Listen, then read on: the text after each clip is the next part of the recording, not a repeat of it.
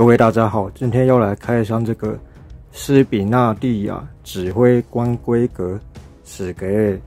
那看一下，这就是它的零件数量，感觉也是少少的。不过这只的价格也是很便宜啦。那这只提亚夏，它是因为再版的关系，所以就顺便带一盒回来。那我也是故意想要尝试一下这两盒搭配起来，是不是真的可以配起来？那大家一定很好奇，再版有没有改良这个头的零件？是的，它真的有改良哦，因为它中间挖了一条这个缝嘛，所以说这个脖子应该是不会再断掉了。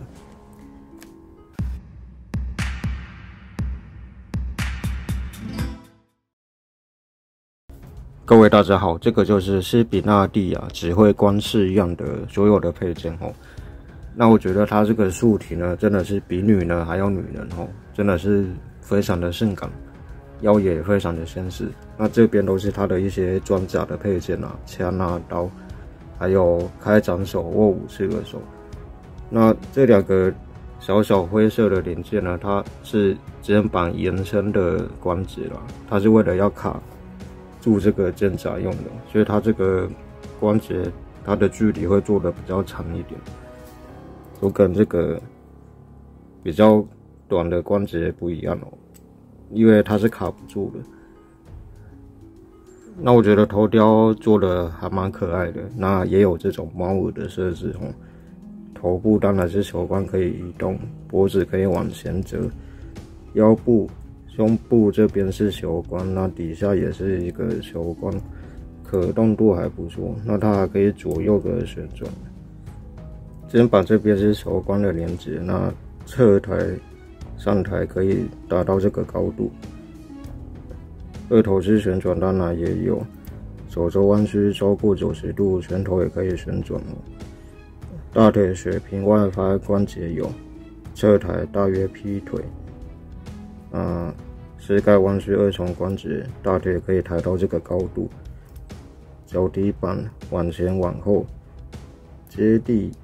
有的脚底板一点点空洞。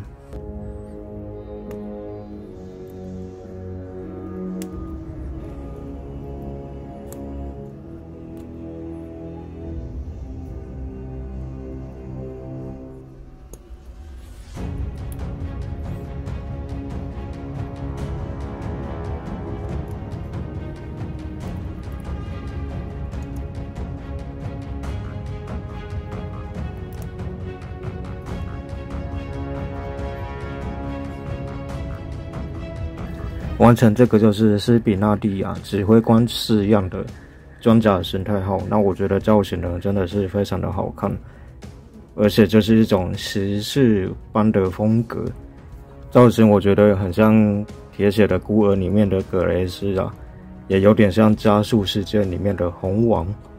我觉得喜欢这个方形的裙甲，它很像弹夹的概念，那它一样是可以转动的。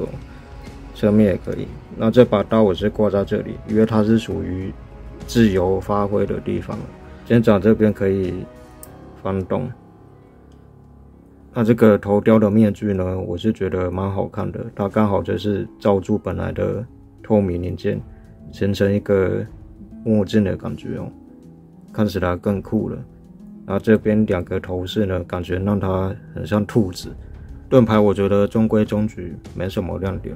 脚步的地方没有强化，我觉得很可惜。那我觉得它这个脚底板呢，很像马蹄啊。这把枪呢，细细长长的，看起来也比较优雅。我觉得它反而比较像罗拉把了。刀我觉得中规中矩了，反正这是一把刀嘛。那这两只比较的结果，我会觉得这只反而比较女士化了，不知道为什么。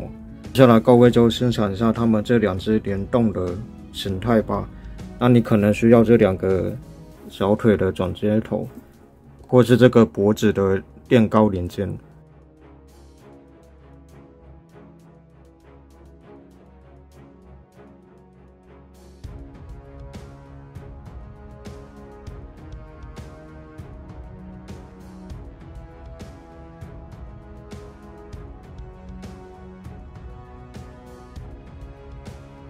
那各位觉得哪个形态好看呢？我是觉得都好看了。